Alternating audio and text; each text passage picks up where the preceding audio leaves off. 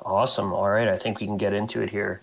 Um, so, thanks everyone uh, for being here today for this episode of FuruRadio. So, I'm joined today uh, from Daniel from Arbitrum. So, super happy to have you here today, uh, Daniel. Thank you for having me.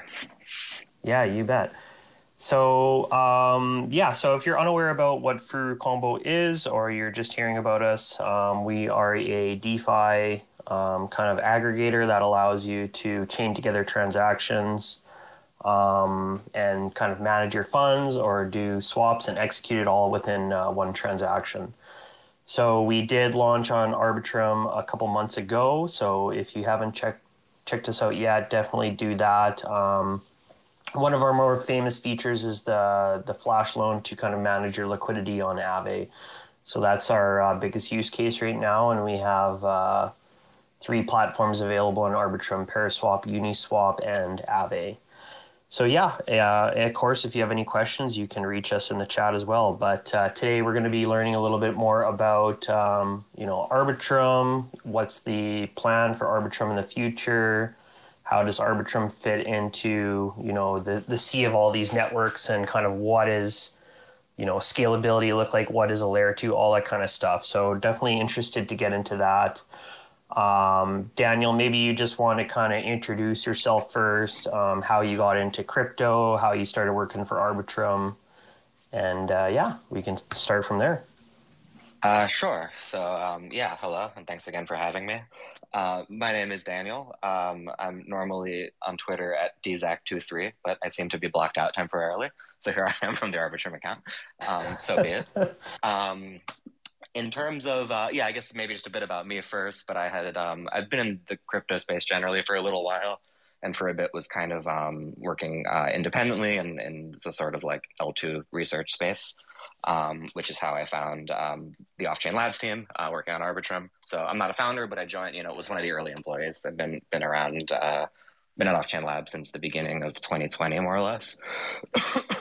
And um, yeah, I do sort of um, a combination of some some engineering stuff, uh, like at the smart contract level, uh, as well as kind of like technical uh, technical content and research and uh, and things things of that nature.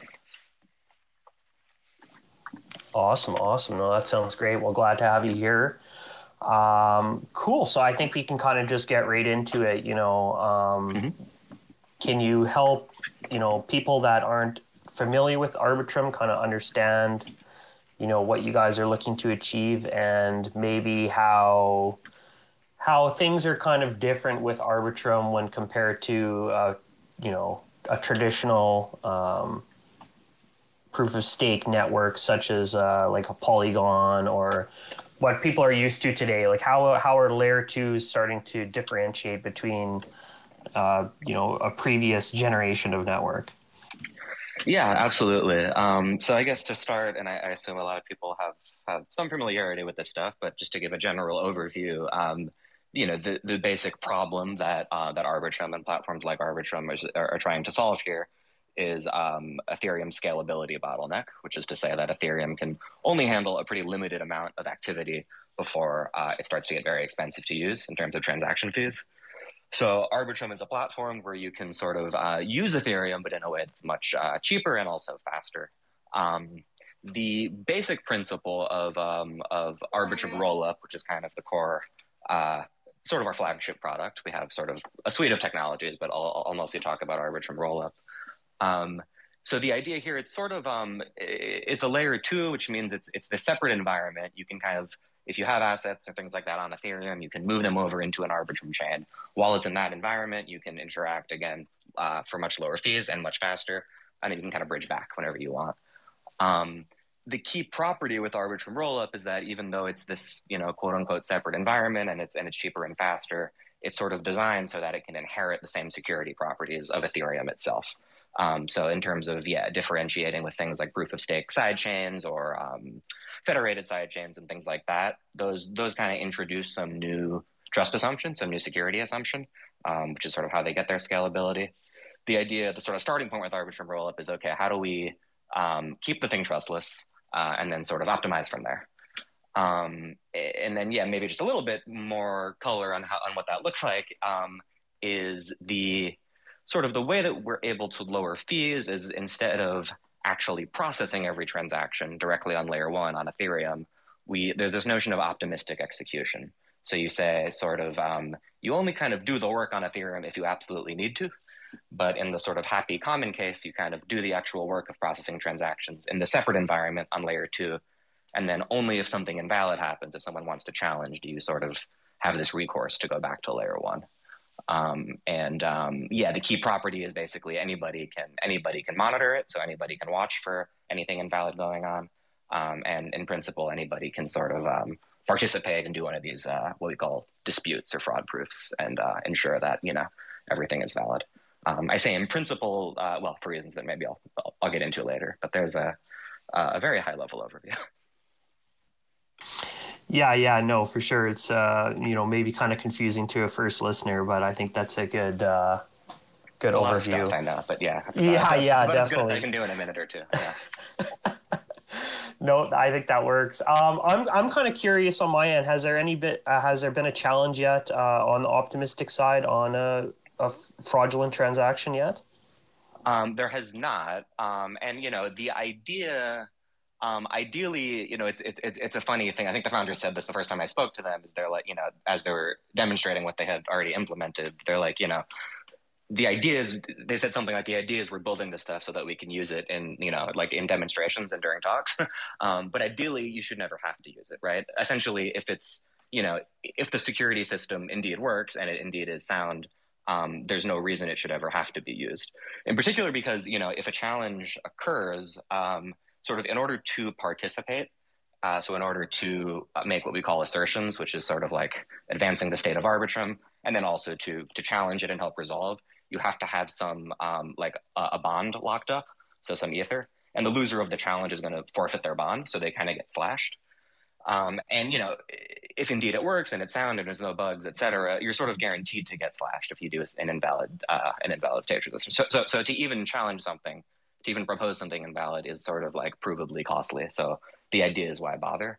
Um, so so yeah, ideally it's like the system that you need, but if it works, you shouldn't ever have to use it.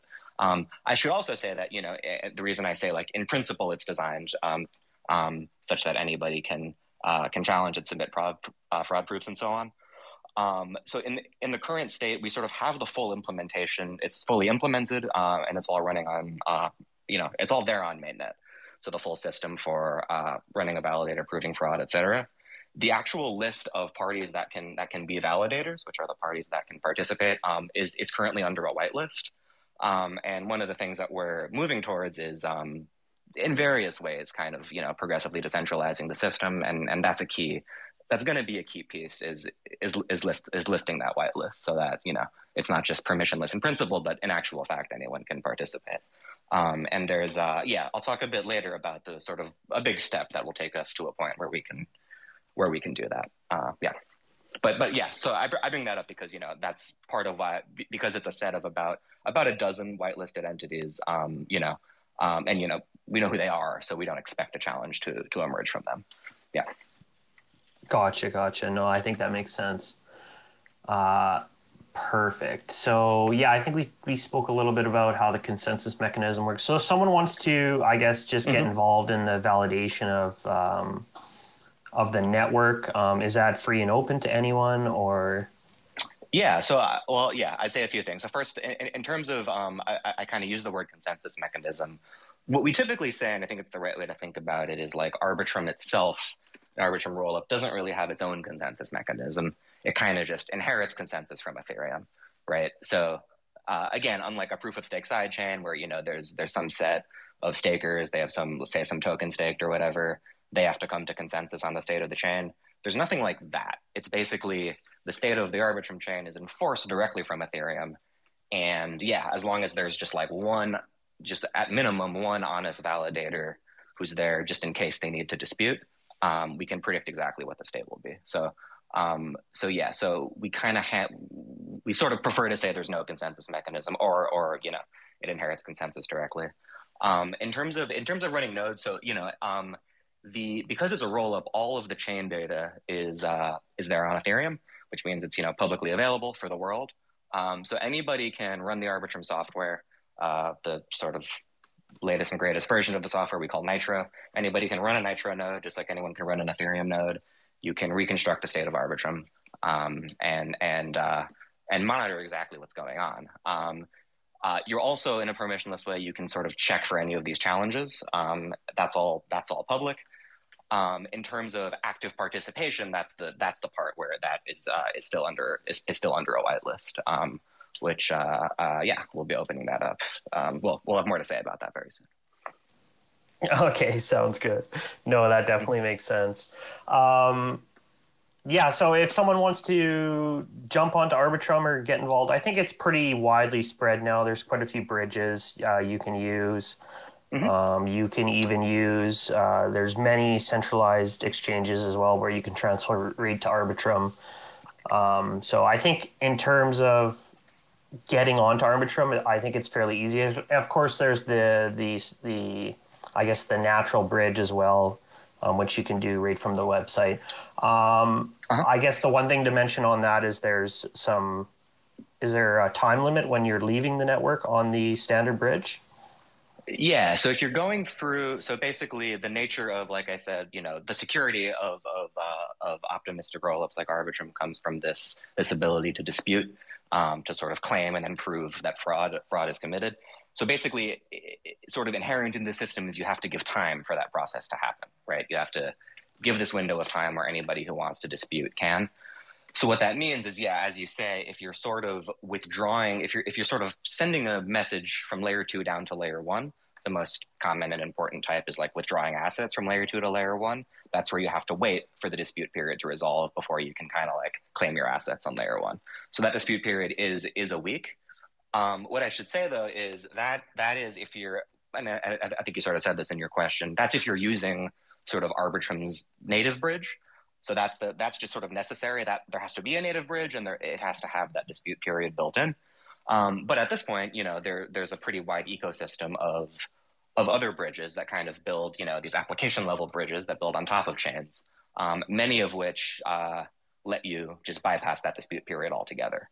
Um, and we sort of, you know, our current, you know, our current trade-off here is, you know, given that these are third parties, and you know, we, we want to be careful, but sort of on our on our actual bridge page, we sort of link to those. We say, if you want to use another bridge, you know, do your own research, um, but um, but here's other options. And of those other bridges, I'll just say, you know, some of them, the reason they're able to bypass the seven-day period in some cases is because they just sort of introduce their own their own security assumptions, their own security mechanism, let's say.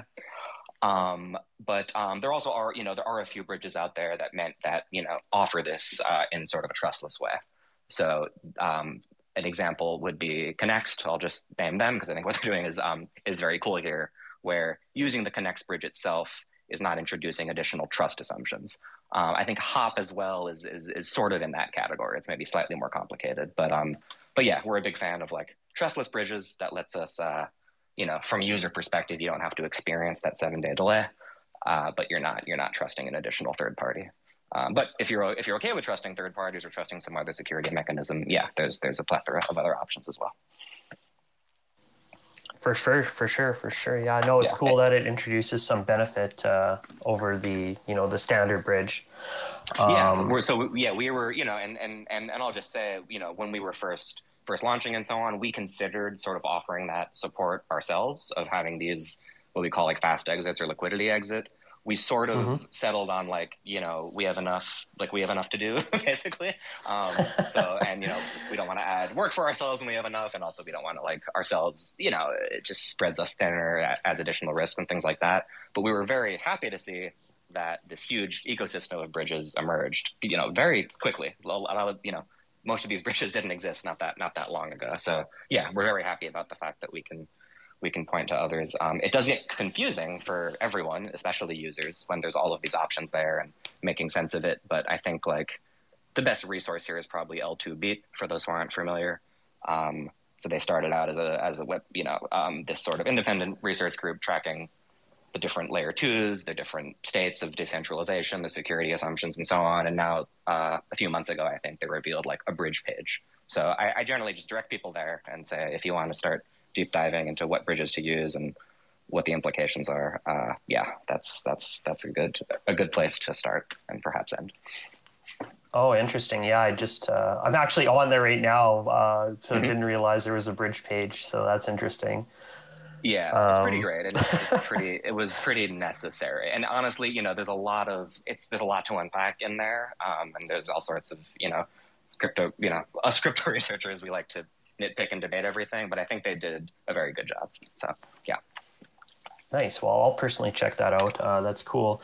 Um, and yeah, no, I mean, and the fees are quite low, which is nice on all these uh, bridges. And um, mm-hmm. you know, to help with the, I guess the confusion, you can always use uh, LI.FI, which is a bridge aggregator. So that that also mm-hmm. helps. I I send people there to kind of help to streamline. But again, you do have to be aware of the trust assumptions, as you mentioned. Um, so no, that's interesting. Um, Cool. I just wanted to jump in quick. I know you guys recently launched, well, I think six months ago, maybe less, another network called Arbitrum Nova. So, how is that different hmm. from. Arbitrum One?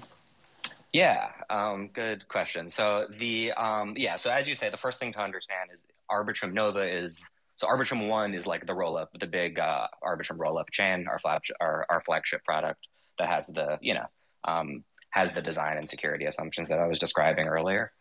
Um, Arbitrum Nova is a, is a totally separate chain, um, also kind of lives on top of Ethereum. And um, what's interesting is that actually, if you sort of, you know, if you're a developer and you and you want to dig around into the implementation and the contracts and so on, um, a lot of it shares a lot of the same um, code architecture as Arbitrum One. Like we, most of the code is literally reused. Um, the key difference, it it it, it sort of Arbitrum Nova makes a different trade off in terms of uh, on the sort of security fees spectrum. so um, with again with Arbitrum rollup, it's all about let's build something that's trustless. What we find with rollups, uh, at least currently, this might change, but um, currently what we see is that you know one of the requirements of any rollup is that data is posted on layer one. So we're sort of using layer one Ethereum for for, uh, for data availability essentially, and then we sort of do execution on layer two.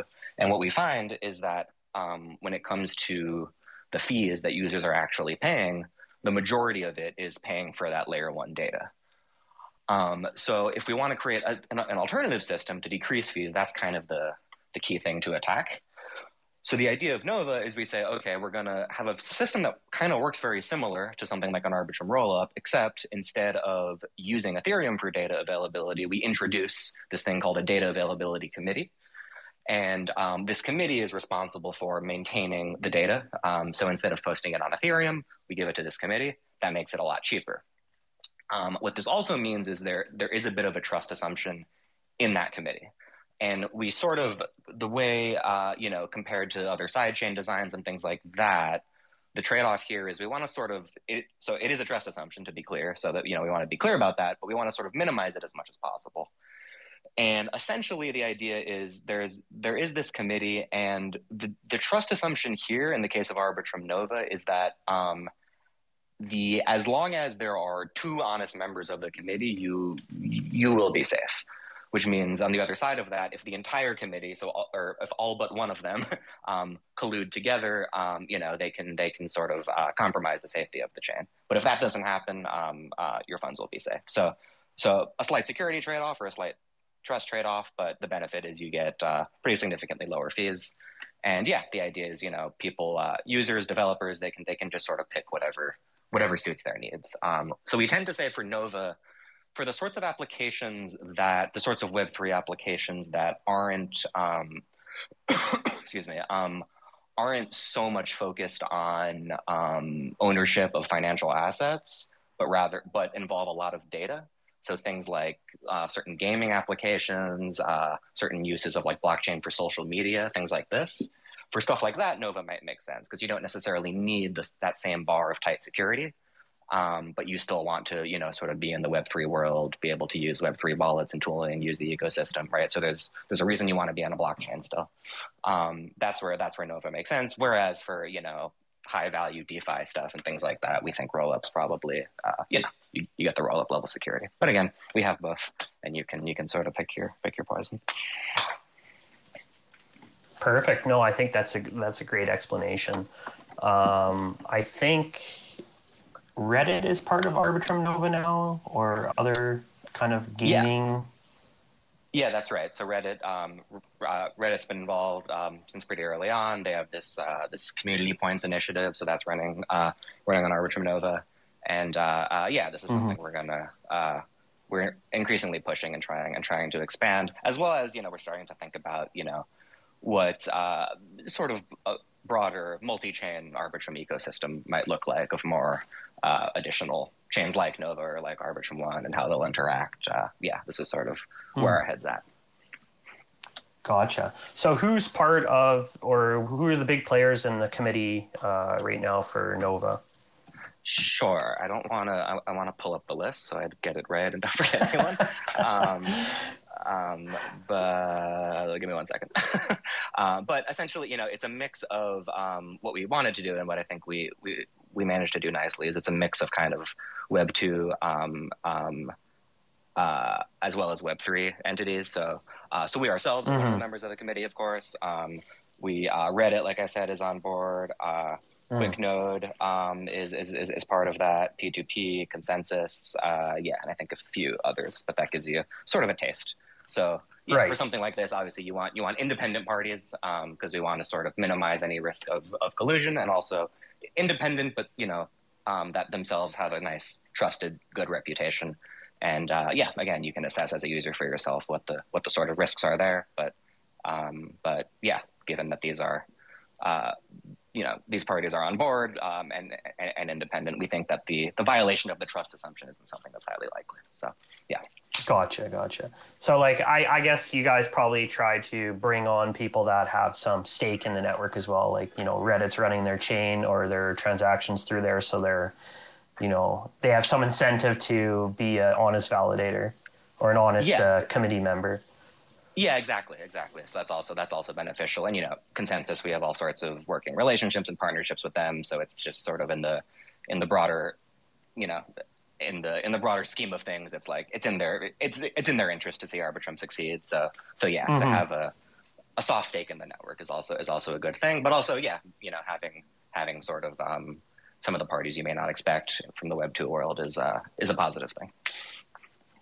Cool. Yeah, no, I like that that diversity. That that definitely helps. Mm-hmm. Um, awesome. So uh, that's Nova and a little bit on Arbitrum One. Yeah. Um, so uh, yeah, and again, that that just sorry, but just to just to wrap up. So that yeah, that committee yeah, I'm no talking about that's that's strictly the the data availability ability committee strictly for Arbitrum Nova. So our uh, Arbitrum One has no no notion of anything like that. There's no uh, yeah. Mm-hmm, mm-hmm. Okay. Just to be clear. Mm-hmm. Yep. Yeah, no, for sure. Thank you. Yeah, yeah. Um, okay. You didn't say anything. So, I just wanted to make. I, I, I just wanted to make. Sure. yeah, no, that's okay. fine. Yeah. I don't mind at all. Yeah, definitely make it as clear as possible. So, um, yeah, just to make that dif- differentiation, that's good. Mm-hmm. Um, so, in terms of the, I guess the future of Ethereum, um, I mm-hmm. guess we can bundle these two questions. You know, I think we talked a bit about how you guys fit in, but like in terms of the future of interoperability, you know, how do you see maybe these roll-ups communicating or or once scaling happens? How does kind of everything fit in together and you know what does the future of Ethereum look like? I mean that's kind of a loaded question. Um, no, yeah, that's um but, it's, a, it's, a, it's, a, it's a fair question though. Yeah, I think yeah, interoperability is, a, is, is, is sort of a hot topic and a complex topic. Generally speaking, I think um, what we will see or what we sort of want to see is that you know in a way what what what's entailed by by and but by interoperability yeah as you say we mean sort of being able to cross communicate between chains. So one the, the sort of um, bread and butter example of this is like moving your assets between chain A and chain B um, uh, whatever those chains might be. Maybe they're maybe it's L1 to L2 between two different L2s uh, um, you know and so on uh, between two different L1s um, but there's you know mm-hmm. more general cross chain communication where you have like you know you can imagine um, uh, sort of a dApp that sort that that has components on multiple different chains, and as a user, you're just sort of seamlessly making cross chain contract calls between them and things like that. Um, this is something that um, many projects are thinking about.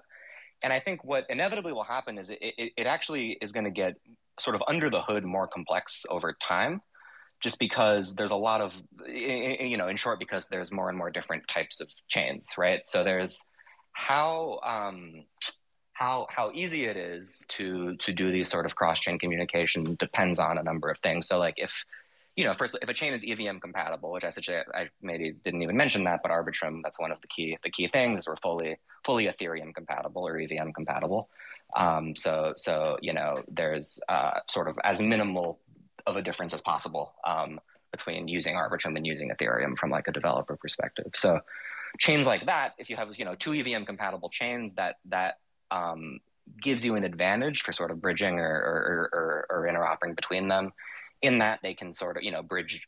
Uh, you know, bridge applications can kind of design universal interfaces. We can we can sort of reuse tooling. We can sort of have the same expectations on both ends, if that if that makes sense. Um, but um, yeah, other factors are you know different chains have different fee structures. That's a thing to consider. Um, whether a chain, you know, two L2s of the same L1 um, in that particular situation, like, you know, two different Ethereum layer twos, there's certain advantages there. The fact that they're both settled to the same layer one, so you can sort of have some superpowers in your cross uh, cross chain communication. But but yeah, there's also chains that are that use totally different non Ethereum, non EVM data models. There's already things like Solana, and you know there'll be uh, projects like Fuel, which is a layer two that has its own separate data model. So, um, and then all these ZK, you know, ZK EVMs and things like that. So the more the more diversity of chains emerges, the more we have to sort of it, it becomes harder to, to coordinate these things. Is the sort of I guess bad news. The good news, I think, is more and more what I think we what I hope to see is that this complexity from a user perspective just gets abstracted away, and that I think. Mm-hmm where, where, the direction this should go in is that a lot of that work um, ends up falling on wallets, for example, wallets and like the places users tend to inter the things users tend to interface with, uh, which is basically like wallets, block explorers, you know. Um, in other words, the the the things users use kind of universally, right? So that a particular DApp doesn't have to always reinvent the wheel. A wallet can do mm, a lot mm. of the work, uh, right? This is already true of a lot of things. Like obviously, wallets is what you use to sign transactions. So if I'm a DApp developer, I don't have to worry about that typically.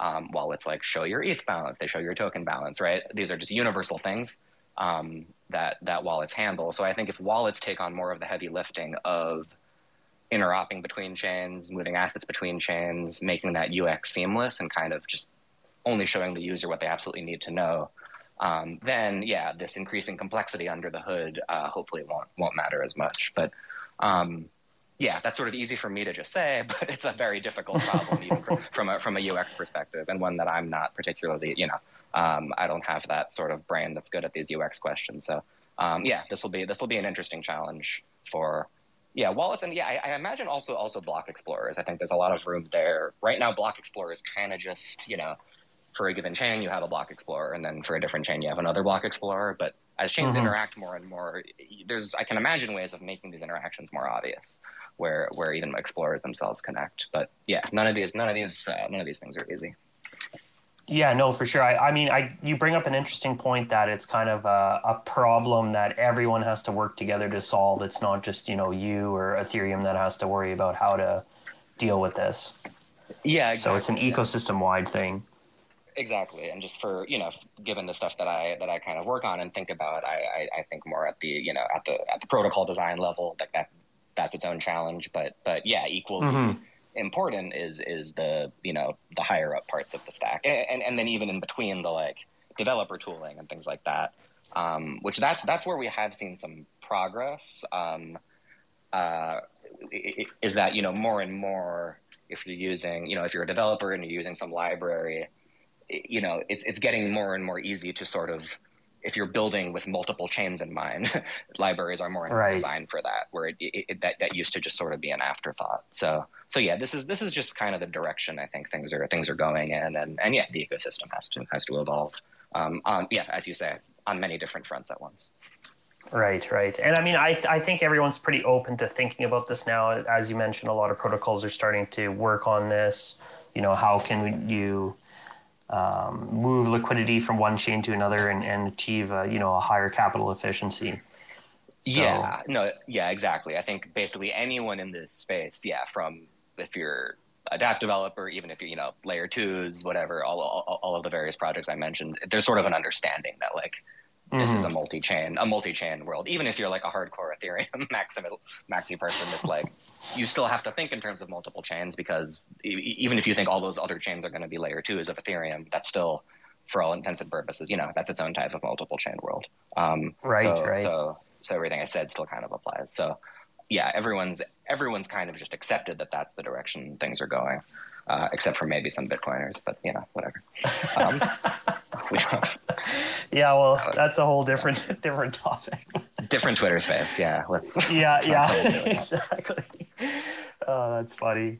Um, but yeah, I mean, I, I think yeah, with ETH maxis at least, I think they understand, or most people understand. You know, ultimately, Ethereum will just be the settlement layer. You won't be performing any transactions on there.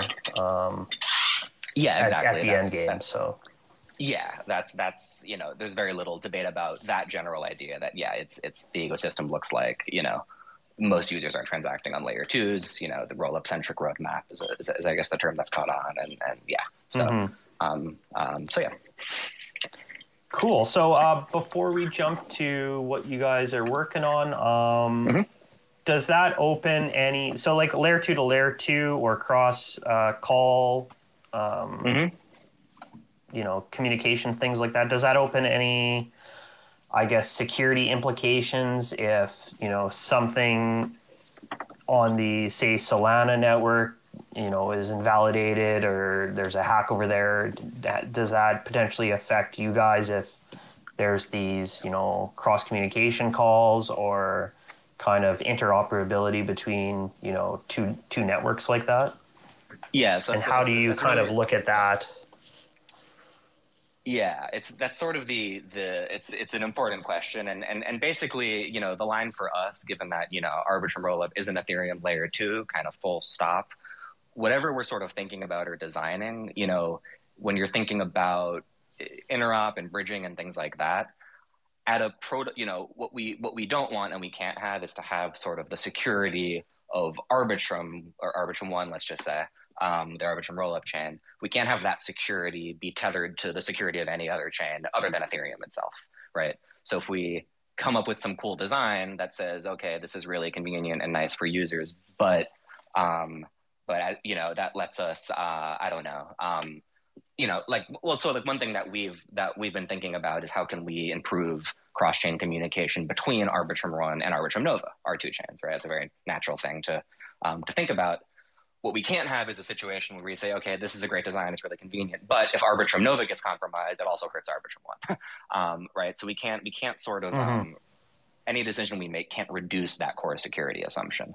And um, so what that means is, yeah, there's there's there's there's things we can do, but the moment um, if you're introducing any sort of risk like that, um, that's something that you know can and is the case with all sorts of applications because you know people can build whatever they want and people can use it however they want um, we just we just can't wire it in wire it into the protocol. So you know, for example, um, uh, I, I, don't want to name any specific ones in case I say anything wrong, but there's you know there's plenty of bridges out there where where those sort of risks apply, where maybe it's a you know it's a bridge that exists on these you know half a dozen chains. And if you sort of look at the details, you realize that okay, if, if, if one chain's security gets compromised, it sort of compromises the bridge itself. And now, you know, I might be able to sort of uh, you know, mint tokens through the bridge on some other chain, right? That kind of thing.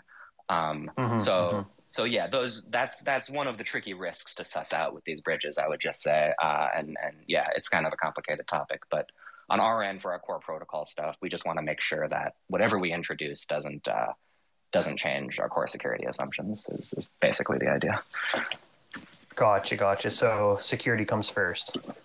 Yeah, security comes first, and and yeah, even if if we want to introduce any other stuff, it just has to be has to have a clear separation of this is a particular application that some other team built, or maybe maybe even we help build them, but it doesn't affect like users of Arbitrum One, uh, you know, who bridge mm-hmm. through through our canonical bridge and have that token representation. That has to be just sort of purely Ethereum derived security is is the um, the starting point. Yeah.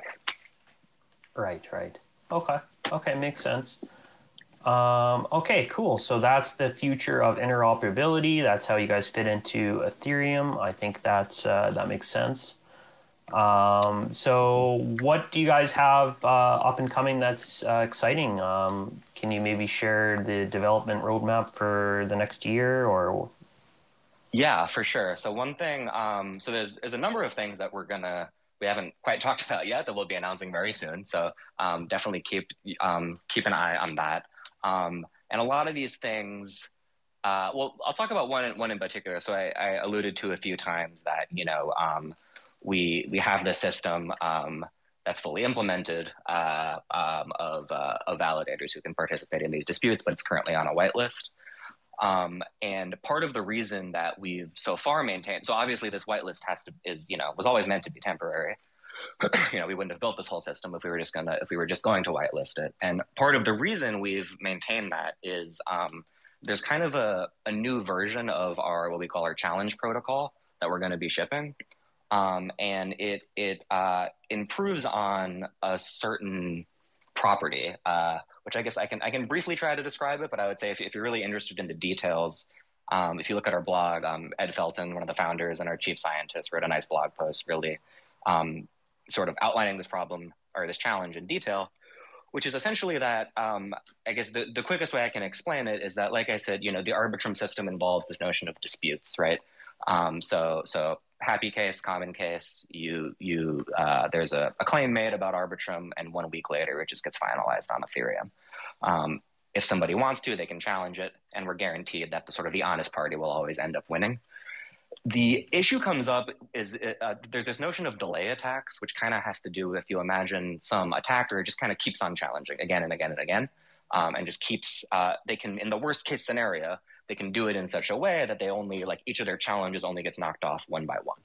So what this amounts to is they can sort of delay confirmation, which the way this would affect users and so on is this means you know users who are trying to withdraw would have to wait longer than a week, right? Um, mm. And to be honest, mm-hmm. it's, it's, it would very even in that case they could still use the fast bridges, right? So it's really mostly affecting like liquidity providers. Um, so it's a, it's it's a pretty narrow sort of attack. And also, again, in order to do this attack, it would be very costly because every in order to buy this time, to buy this delay time, you have to keep losing challenges and you have to keep getting some stake slash. So, um, but you know, we take you know, we take security and things like this very seriously. So um, we um, um, we want to sort of uh, minimize or even eliminate that particular um, delay attack vector. Um, and basically, we have a design, we have a, a, new design that does that. So it's it's very similar to our current challenge system on a, on a high level. It's the same kind of basic idea, but the details are different, such that in this new system, we can give a tight upper bound on how long any any sort of challenge process could take. Basically, basically at worst, it takes like two weeks or like three weeks from the initial thing, something like that. So, um, so the delay attack thing is eliminated. Um, and then with that, um, you know, once that shipped, uh, again, that's the that was the main reason we kept this whitelist up, is we didn't want something like this to happen. Um, at that point, you know, we'll be we'll be in a position where we can where we can remove that whitelist. So, um, yeah, the details there again, you can you can look at the blog post for the details of the delay attack. Details of the new spec will um, and and the implementation itself will be coming out soon. Um, but that's a sort of a wonky development. But the I think the exciting part is it's a it's a it's a crucial step towards you know it's a crucial piece of, uh, of progressive decentralization. Um, other stuff that, yeah, I can't quite talk about, but there's other kind of important pieces of progressive decentralization that we'll have more to say about soon. Um, and then, yeah, I think probably this week there's another announcement, something we totally haven't talked about, which isn't really about decentralization, but it has to do with kind of improving the capabilities of Arbitrum, uh, which I'll, I'll, speak very vaguely about because um, I don't want to, you know, front run our announcement. But I can just say that um, there's this cool property, uh, and this gets a bit wonky, so excuse me, but the, there's a, a, a, cool property of Arbitrum is that the way that we get, the particular way that we get Ethereum compatibility, um, and the way that we kind of prove fraud has to do with uh, compiling down to this, this, this machine representation called WASM. And this is a nice design for a lot of reasons, and it, and it means that, okay, we can, we can, we're compatible with, with the EVM itself. But it turns out that with this architecture, not only can we be compatible with the EVM, we can actually sort of add additional functionality. Um, so uh, in principle, right, we can we can use this proving system to do things that you actually can't even, you know, beyond what you can do on Ethereum from a development perspective. Um, and um, yeah, I'll probably just I don't want to say too much, so I'll I'll stop there. But keep on the lookout for that. Um, hmm. This is a, a really cool, uh, yeah, little kind of um, um, technical initiative that we've been working on, and are very excited to start start being more public about. Uh, yeah. Oh, interesting. I wish I could say more about a number of these things, but there's there's a number of there's at least one concrete thing and then a few teasers. So hopefully that's enough. yeah, no uh, alpha leak. So alpha leak. There you go. Yeah. Uh, it sounds interesting though. Like there might be some compatibility with, you know, say Cosmos or Polkadot or some options there. Yeah, that you're if you if you know about Polkadot, that's maybe a it's sort of a maybe a good hint, if you know about how Polkadot works. But let's just say, yeah, it's it's you know we we can still preserve from like a smart contract perspective. If you're a Solidity developer or a Vyper developer and all that, none of that changes. We still get full Ethereum mm. compatibility. But um, but yeah, the the sort of underlying virtual machine proving architecture is such that we can we can include more um, um, in that. Yeah, I'll yeah I'll leave it at that. Yeah. Cool. No, appreciate that. Thank you for the the alpha. Mm-hmm. Um, so just to kind of jump back maybe a little bit and talk about um, you know these other optimistic rollup networks. Do you guys like mm-hmm. converse with them and kind of discuss like over arcing, you know, developments together, or do you see them straight strictly as competitors, or how do the other um, networks kind of fit into what you're doing and how you're trying to expand and build? Yeah, you know, it's um, to be honest, it, you know, it can it, it can be a bit tricky for sort of the reason you're implying, which is, you know, in some sense, of course, we're literally competitors. At the same time, we're, you know, a we're like literally friendly with a lot of them as people, um, the people, mm-hmm, you know, mm-hmm. people working on other L2s, and of course, like you know, we're working on very similar things, and and we're all sort of in the Ethereum ecosystem. Um, so yeah, there it can be hard to know sort of where those where those lines are. What I would say though is, you know, there's a number of things. Um, uh, we certainly keep in communication um, and and try to sort of like at least communicate and if possible coordinate on standards where possible. Um, anyone who's worked in the space or probably like in tech at all knows that coordinating on standards is like never really works but it's at least like you know it's just a very hard thing to do and to get people to agree and and and, and all of that mm-hmm. but at, at, least like making sure those lines of communication are open and, and sort of comparing notes as we run into similar problems is um, is something we try to do um, one thing that um, can just shout out the Ethereum Alliance has started this nice initiative, sort of like a um, uh, we call it like the cross chain interop group, um, and you can you know that's all the stuff you know the discussions we have there and the output of that is all is all public on GitHub, um, which is which is yeah that's been helpful. So that's just we we we sort of keep in touch there, and it's various um, various things that are nice to standardize on when you know and different L2s join and have their inputs and, and, and things like that. So yeah, initiatives right. there from like additional parties is um are are very helpful. But yeah, again, the fact that we're competitors means it's it's it's hard to know how much is the right amount to to be you know in in contact and sharing stuff. And and honestly, even more so, I think than the fact that we're competitors, it's like you know this is we're all working on hard stuff. We all have you know we're all at capacity in terms of what we're doing, and it's like uh, the additional overhead of const- of trying to coordinate is is just difficult. Um, right. So um, so yeah, in practice, a lot of things just kind of just kind of happen, and then we compare notes after the fact. But um, yeah, I think with the EA Alliance stuff, we are we are getting better. I mean, one thing I won't maybe won't try to fully describe it because it's it's a bit in the weeds, but there's this notion of like address aliasing that we introduced. Uh, when we launched Arbitrum, that's just a necessary piece of cross-chain communication. And yeah, we're working to sort of generalize that and make it more standard. Where where I think Optimism already is is is doing uh, using the same the same schema, and hopefully, ideally, you know, as more and more layer twos emerge and run into the same. Uh, you know the same the same problem or the same thing it's like oh okay this this standard exists we can just use it and that'll just make mm-hmm. everyone's life easier you know for uh, who's who's in the ecosystem so yeah i do think we're improving yeah. Right, right.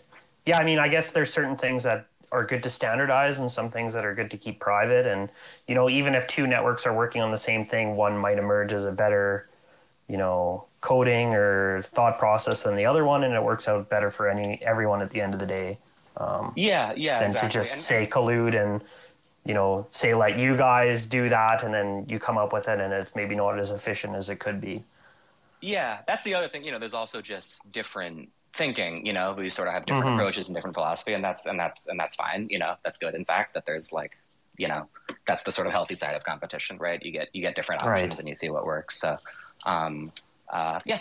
So I think it's uh, overall, you know, I think it's there's there's been a few like uh, there's, there's been a few misfires of coordination and communication there where oh okay if we had all just agreed on this semi-arbitrary thing earlier it would have it would have been nicer for everyone. But um, it's definitely happened. Some you know in some cases maybe even literally my fault. But um, but, but, uh, but, overall we're getting it's tough though right? Like yeah. where do you delineate yeah. right? It's but yeah yeah I, I thought I would just see if there was um like a committee, I guess, for overseeing you know standardization. But it sounds like you guys are are working towards that, or there is a group there. So yeah, the AI, the AI uh, thing that's maybe interesting. Is, you know, yeah, there's no there's no one thing, but that's that's probably the closest thing. That's at least an, an mm-hmm. initiative to help to help track. You know, what are the open questions and what are what are the various teams doing to tackle them. So yeah, I think that's that's a very positive development. Cool, cool. So uh, we got two questions left, and I think we can wrap it up here. So. Um, mm-hmm I guess we'll just briefly talk on uh, EIP 488 or 4844 and how that got sure. how that is going to help to scale you guys.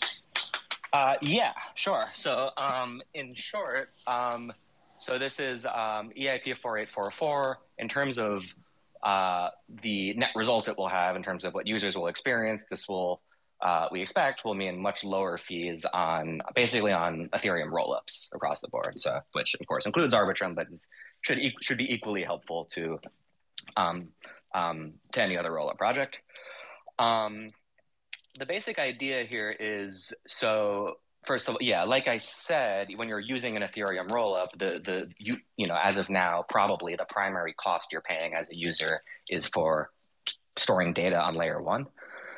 Um, so EIP 4844 is introduced, it sort of introduces a new data type that can be cheaper, that can be a lot cheaper. Um, I guess to, um, um, to go into it a bit, so the way rollups work now is the, the, sort of the way they use Ethereum, the thing that they need from Ethereum is that you need to um, use Ethereum strictly as a data availability layer so we use it, you know, we use it for the fraud proof system, like I said, if need be. But in the normal happy case, it's just there for data availability.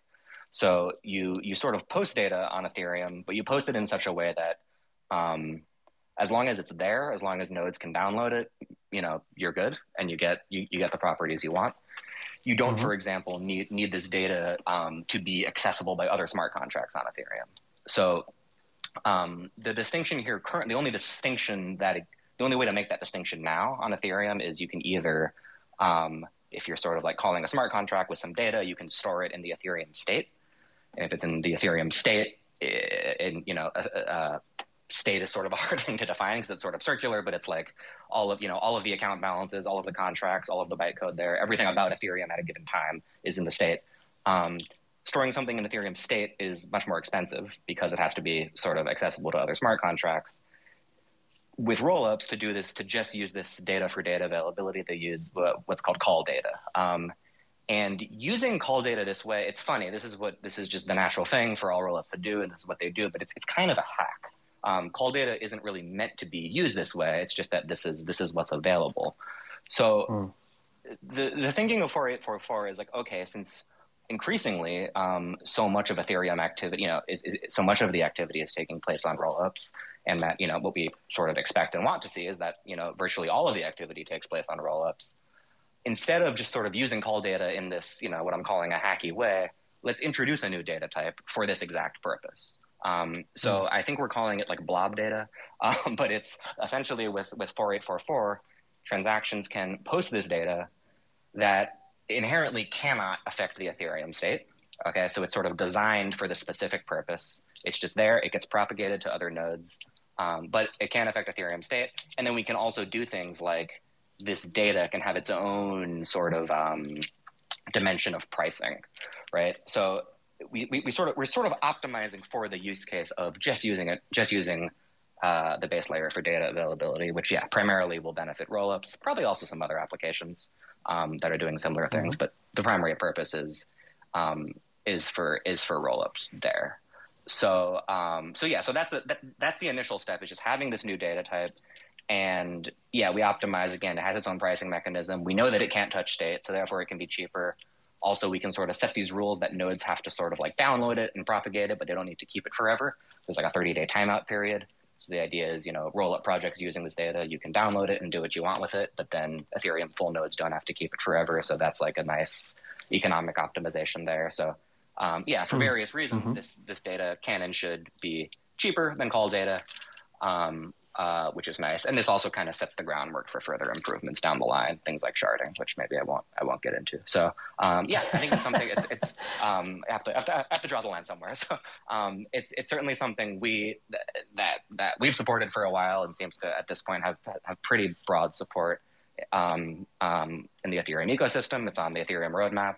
Um, and yeah, I should say that uh, uh, we, uh, meaning Offchain Labs, uh, the company behind Arbitrum, um, a few months ago, we acquired Prysm, um, the Ethereum Layer One client, one of the major Ethereum Layer One consensus clients. Um, and mm-hmm. they're yeah they're one of the lead you know designers and implementers of of 4844 so uh, yeah they're working under the uh, under the Offchain Labs banner now. And uh, yeah we're happy to be sort of supporting them in that.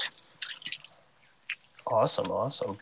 Um, do you have any insight on when that's expected to kind of go live or um, I don't know about dates, but I know that you know what they're what the client teams are uh, uh, what the consensus client teams are currently working on are you know the the big priorities are 4844 and uh, withdrawals of stake.